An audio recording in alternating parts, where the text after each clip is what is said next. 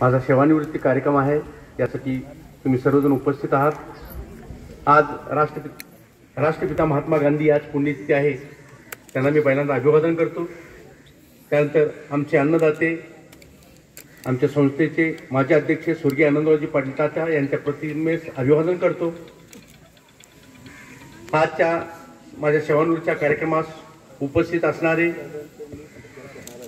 आमचे तालुक्याचे आमचे लाडके माजी आमदार बाबासाहेब पाटील दादा मगाच येऊन गेलेले त्यांचे पुत्र माननीय सत्यजित पाटील आबा